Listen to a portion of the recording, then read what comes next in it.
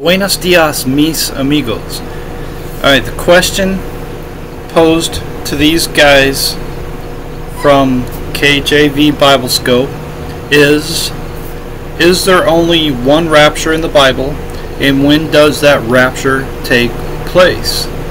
Alright, so the easiest answer is, in my opinion, Matthew 24, verse 31. And it's Jesus speaking. He says, um, And he shall send his angels with a great sound of a trumpet, and they shall gather together his elect from the four winds, from one end of heaven to the other. So we are gathered together. We are lifted up. We uh, ascend up to heaven to meet the Lord in the air. This is the rapture. Pretty simple. And when does it take place? Well, in the context of what Jesus is speaking of here is the end of the world. All right, so the disciples came to him privately, saying, Tell us, when shall these things be? And what shall be the sign of thy coming and of the end of the world? Alright, and so when the sun is darkened, and the moon shall not give her light, and the stars shall fall from heaven, and the powers of the heavens shall be shaken. This is when Jesus comes in the clouds of heaven. And then shall appear the sign of the Son of Man in heaven. Then all the tribes of the earth shall mourn, and they shall see the Son of Man coming in the clouds of heaven with power and great glory. There's not going to be any mistake about it. Everybody's going to know. All the tribes of the earth will mourn. Men's hearts will be failing them for fear because they know it's the end of this world. All right, and then of course uh, he sends his angels to gather together the elect. And then here in 1 Thessalonians 4, for the Lord himself shall descend from heaven with a shout, with the voice of the archangel, and with the trump of God, and the dead in Christ shall rise first. Then we which are alive and remain shall be caught up together with them in the clouds to meet the Lord in the air, and so shall we ever be with the Lord. All right. So it's interesting to me. Uh, I just got this comment 30 minutes ago. Uh, somebody that's never read the Bible says, "You are not lifted; New Jerusalem comes down." The Bible is very clear that we are lifted up in the air. All right, to meet the Lord in the air. We're taken up out of this world, and then this world is destroyed, and then the we come down with the new city of God, the new Jerusalem. All right, very simple, very simple, straightforward stuff, easy to understand, and it. Mean, this is all throughout the Bible. If you're not up in the air when the wrath of God comes down on the earth, you're in big, big trouble. All right, consider 2 Peter chapter 3. The day of the Lord will come as a thief in the night, in the which the heavens shall pass away with a great noise, and the elements shall melt with fervent heat, and the earth also and the works that are therein shall be burned up. This is parallel with the sun shall be darkened, and the moon shall not give her light, and the stars shall fall from heaven, and the powers of the heavens shall be shaken. Alright, and then we are gathered up into the air to meet the Lord, and so shall we ever be with the Lord. And of course, the wrath of God is poured upon the earth. This is the fire that comes down from God out of heaven and devours all those that are remaining on the earth, all the unsaved. All right, is the great, the great supper of the Lord, and where the birds of heaven will feast upon the flesh of kings and so on and so forth. Very simple, straightforward stuff. I mean, really, it's it's a very simple and easy question to answer. Now let's listen to this gentleman here on the right give his response to that question. Somebody arguing against God's word. So, that being said, many Bible believing Christians believe in something that's called the rapture. Now, the word rapture is not found in the Bible, neither is the word Bible. The word Trinity is not in the Bible. The words deity of Christ are not in the Bible. Those are doctrines that are absolutely in the Bible. There are many terms that are used by Bible believing Christians to give a label to something that is a complex doctrine. So we all understand what the, the word rapture means, but the word rapture is not in the Bible. So we want to say to that. Okay, the idea of rapture, the idea is that the Lord Jesus will come again for his believers and will take them out of this world instantaneously for this. This is the blessed hope. That book, Blessed Hope, is from Brother James Locke, explains the whole thing in detail. The blessed hope has been ridiculed and ignored by many churches, many denominations, because they don't understand Scripture. They don't understand, they don't divide God's Word. The concept of what we call rapture is very well established in the pages of the Word of God. Hebrews 11.5, By faith Enoch was translated, that he should not see death, and was not found, because God has translated him. For before his translation, he had this testimony that he believes God. To translate something is taken from... Alright, so let's go there. Um, I forget, what, what was that, Hebrews 11? Um, yeah, Hebrews 11. I, you know, I love this chapter. Now, faith is the substance of those things hoped for, the evidence of things not seen. For by it the elders obtained a good report. Through faith we understand that the worlds were framed by the word of God, so that things which are seen were not made of things which do appear. By faith Abel offered unto God a more excellent sacrifice than Cain, by which he obtained the witness that he was righteous, God testifying of his gifts, and by it he being dead yet speaks. By faith Enoch was translated that he should not see death, and was not found because God had translated him.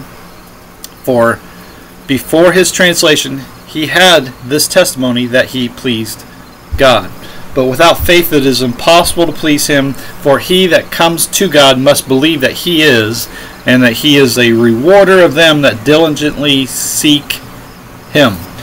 Alright, so let's take a look at this um, verse 5 here. By faith Enoch was translated that he should not see death. Now, it's incredible to me. This is not talking about the rapture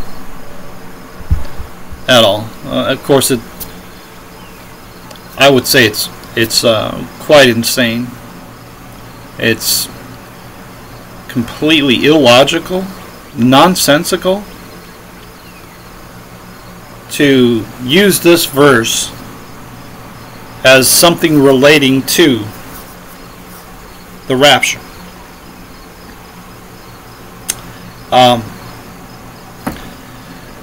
it's it's incredible. I, I don't know why you, why in the world would you do that. I don't know. I, I can't explain why somebody would point to this. There are so many places that you could point to in regards to the rapture. Alright, let, let me just give you another example here. I gave you what two, three. We can go to we can go to Matthew 24, Mark 13, even Luke 21. We can go to uh, we can go to Matthew 13, I believe it is. The parable of the wheat and the tares? No?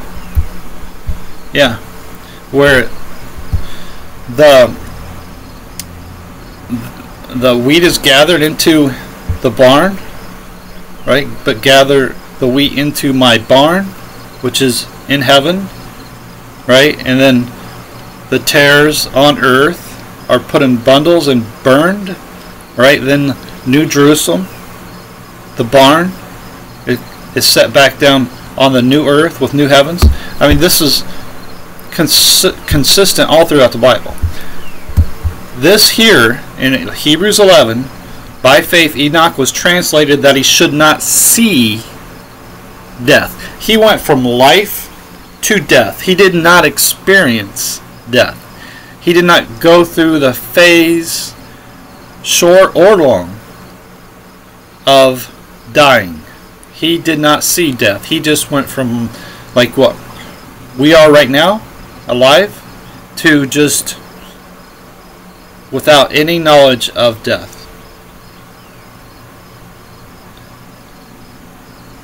There's no other way to view this. There is no other possible logical way to view this. Alright, so the, the problem is, alright, you're basically saying that the Bible is a lie when you make this claim that somehow that Enoch was raptured. It never even suggests or anything this idea that he was raptured is it's ridiculous. It's ridiculous. Now let's go to John chapter 3. Jesus says, No man has ascended up to heaven, but he that came down from heaven, even the Son of Man, which is in heaven. Alright? No man has ascended up to heaven. Only Jesus has ascended up to heaven. He's the only one. He's the only one that has died and then rose from the grave and ascended up to heaven. He's the only one. All right, let's go to 1 Corinthians 15. Understand this a little bit better. In 1 Corinthians 15, we read, For as in Adam all die, even so in Christ shall all be made alive. But every man in his own order, Christ the firstfruits, afterward they that are Christ at his coming. So, taking this, and knowing this, and understanding it, there's no possible way that Enoch ascended to heaven before Christ. There's no way that he was raptured before Christ. There's, it's not possible. Every man in his own order. What what you're teaching is disorder, and there's no reason for it. There's no reason for it. it this is so simple and easy in regards to the rapture. Why would you go to something that is not even talking about the rapture? and claim this is the rapture. It's not. All right, then. All right, let's, let's listen a little more. From one place to another place, or another form, one form to another form, Enoch was translated. Now, the word translate is only used three times in the Bible. Every time something is translated, it's made better. That's for another night. We know from the book of Genesis that Enoch escaped death. He did not enter the grave, he did not taste death, he was taken directly to God into heaven because he believed God. Thus, the idea that a living man who has pleased the Lord by putting faith in him can be taken from earth to heaven without dying clearly taught the Old Testament. 2 Kings chapter 2, verse 11, it came to pass as they went on and talked that behold, the spirit of carried the fire, and voices of fire, parting the both asunder, and Elijah went up by a whirlwind. Number two, Prophet Elijah did not die. He was taken. Yeah, he did die. He did die in. He's dead now, and so is Enoch. And ne- neither one of them are in heaven. For as in Adam all die, is that true? Even so in Christ shall all be made alive, is that true? but every man in his own order. Christ the first fruits, afterward they that are Christ at his coming. Is that true? If that's true, then this man is a liar. Okay? So, who are you going to believe? God or this man? It's really a choice that you're going to you're going to have to make. I mean, really. Are you going to choose men over God? then let that be on you. But for me, I'm choosing God. These words come directly from God above. I have no doubt, no doubt about it at all. None whatsoever. And the, this is true. These words are true. Every man in his own order, right? As in Adam all die, that means Enoch died. That means Elijah died. There's nothing in the Bible that says they did not, or that they are not dead now. Okay? In um, Hebrews 11, it simply says you have to rightly divide the word of truth, don't you?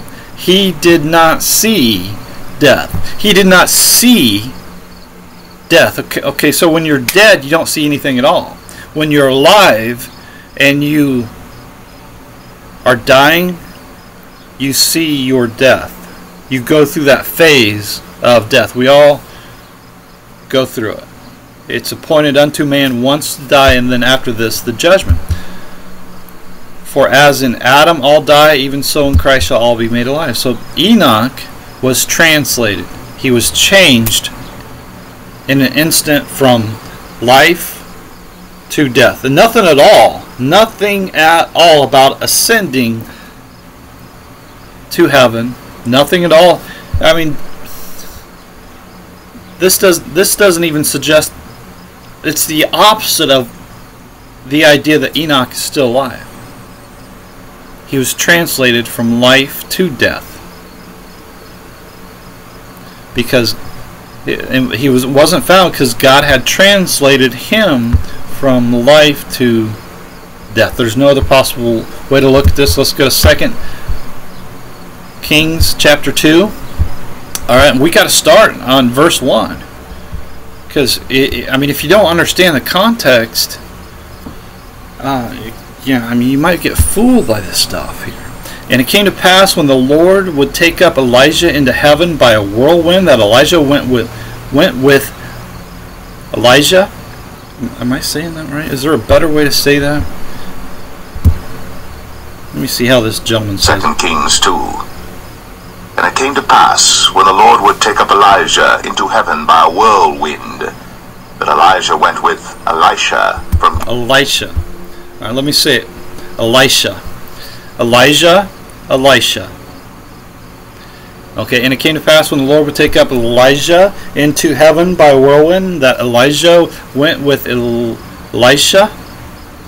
I still can't say it right. I want to say it with distinction. Second Kings 2. Elisha. And it came to pass when the Lord would take up Elijah into heaven by a whirlwind that Elijah went with Elisha from Elisha.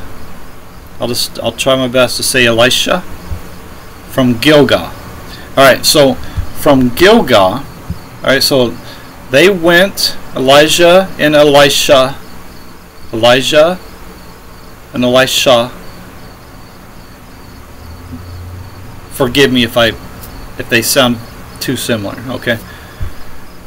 From Gilgal. All right, so let me just make this easy rather than read this and stumble over it. They went from Elijah and Elisha went from Gilgal to Bethel. Gilgal, Bethel, and then Jericho. Okay? You follow along here? And then to Jordan. And then this is where Elijah took off, and Elisha, Elisha was left. Okay, and this is what we read in verse 11. And it came to pass, as they went on and talked, that, behold, there appeared a chariot of fire, and horses of fire, and parted them both asunder, and parted them both asunder, split them up. And Elijah went up by a whirlwind into heaven. Just like what we read here in verse 1 And it came to pass when the Lord would take up Elijah into heaven by a whirlwind that Elijah went with Elisha from Gilgal. Gilgal, Bethel, Jericho, Jordan. This they took a little uh, like a little tour, if you will. Now this idea that they ascended that or I'm sorry that Elijah ascended to heaven is now and has never died. That's not supported. It doesn't say that Elijah never died. And if it did, then you'd have to throw the whole Bible into the garbage can because it would be no good at all. Because it would be a contradiction to what we read here in 1 Corinthians 15 as in Adam all die. So you're saying, oh, they all die except for Elijah?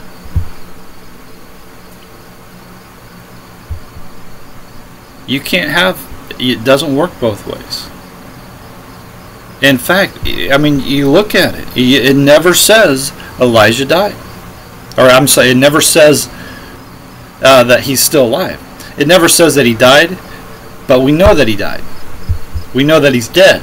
Right now, he's dead. It never says that he's still alive. It never says one way. It never says the other way. But what it does say is that eh, as in Adam all die. And it even says that it is appointed unto man once to die. And then after this, the judgment. So, as it is appointed unto men once die, but after this the judgment. As in Adam all die, as in Adam all die. Even so in Christ shall all be made alive. So there's no possible way to say that Elijah is still alive today. Right? Every man in his own order. Christ the first fruits, afterward they that are Christ that is come. You have to ignore this. And uh, you, you're essentially saying that this part of the Bible is wrong. Uh, you're just be honest with yourself, man. Just be honest with yourself if, if that's what you believe. But I'm telling you, the Bible's right, and this man is wrong. And it's beyond me why somebody would point to Enoch and Elijah in regards to the rapture. It makes no sense to me. Neither one as was raptured, neither one. Neither one is alive today. Neither one. Neither one. So why would you why would you even point to those guys? It doesn't make any sense to me. And obviously, uh, Matthew 24 is the clearest example of the rapture. I don't know how anybody doesn't see it. Well, other than that they don't believe what it says. They don't believe what God says. They don't believe the Word of God. That's the only way. So anybody asking anything about the rapture, it's as clear as day right here in Matthew 24. Clear as day. Of course, we can go to Mark 13 as well. I don't think I've done that yet. Mark 13. Go Mark 13. And this is parallel with Matthew 24. Right? And then shall they see the Son of Man coming in the clouds with great power and glory and then shall he send his angels, and shall gather together his elect from the four winds, from the uttermost part of the earth to the uttermost part of heaven. We are lifted up at the last day. Right? Is that a is that a verse? Lifted up last day. left last. Is that is that in the Bible anywhere? No, no. Uh, what is that? What verse is that that I'm thinking of? Right there it is. Okay. And this is the Father's will which has sent me, that of all which he has given me, I should lose nothing, but should raise it up again at the last day. This is the rapture that happens at the last day. I mean, it's crystal clear. And this is the will of him that sent me, that everyone that, which sees the Son and believes on him may have everlasting life, and I will raise him up at the last day. Clear, obvious, simple, uh, straightforward Bible scripture that talks about the rapture. and no man can come to me except the Father which has sent me draw him. And I will raise him up at the last day. Right? And whoso eats my flesh and drinks my blood has eternal life. Right now. And I will raise him up at the last day. Right? So I mean it's it's very simple, straightforward stuff. You could be the biggest dummy on earth and understand the simplicity of Christ.